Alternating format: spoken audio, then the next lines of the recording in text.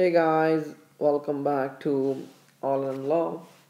This is quick pathology. Okay, and today we're going to talk about the microscopic and the microscopic feature of squamous cell carcinoma. Very important carcinoma of the skin. Squamous cell carcinoma is known as epidermoid okay cancer, right? So you know this squamous cell carcinoma is most commonly occurs in the skin, oral cavity,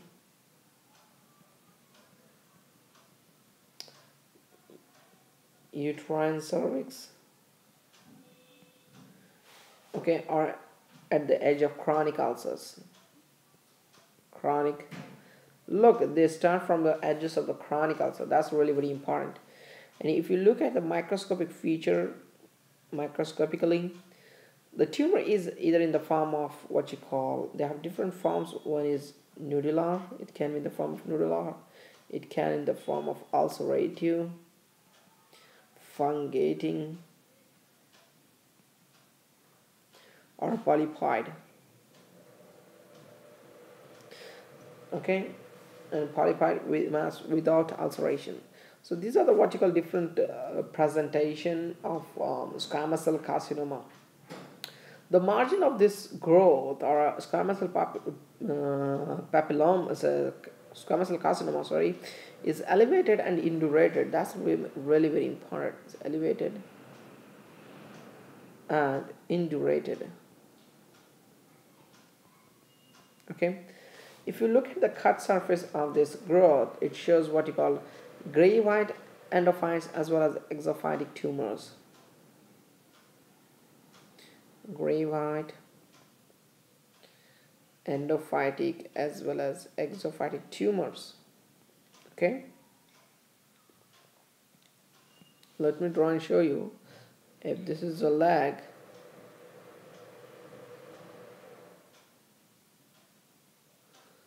I don't know how beautiful is the leg is this okay it's a great toe and this is a chronic ulcers it has a growth like this okay can be fungating like or a polypoid what you call like this if a growth in the okay guys so these are the different shapes of what you call a squamous cell carcinoma seen grossly now we have the microscopic examination under a microscope. If you look at this, it's characterized by the malignant cells that show variable degree of differentiation. Malignant cells. Okay. The what you call the better differentiated tumors, the cells are arranged in a concentric layer called epithelial pearls. If you see epithelial pearls, then think of what you call squamous cell carcinoma also. And these contains a material known as a keratin. Okay? Let me try and show you if possible.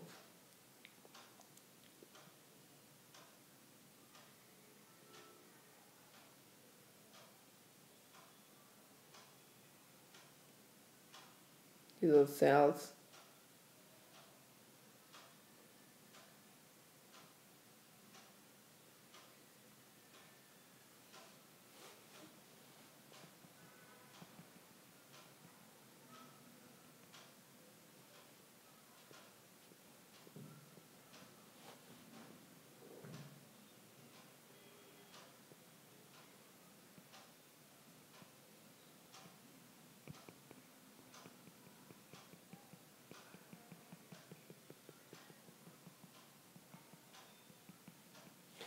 Okay. This is known as a pulse these are known as a pulse remember. Okay?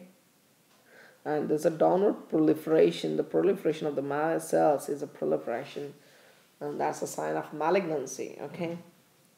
Right? And these are known as walls of malignant squamous cell carcinoma. These together they are fluid. Two pearls. Can you see this? Yeah. Okay guys the masses of tumor cells invade through the basement membrane into the dermis. They invade the basement membrane through the dermis, remember, okay? so it can affect these layers and cause such a what you call um, dangerous tumor it has okay uh, the mass of tumors are separated by lymphocytes you see lymphocytes and the tumor cells are separated by these lymphocytes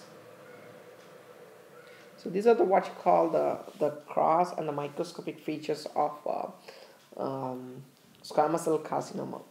Thank you so much for watching this video. Take care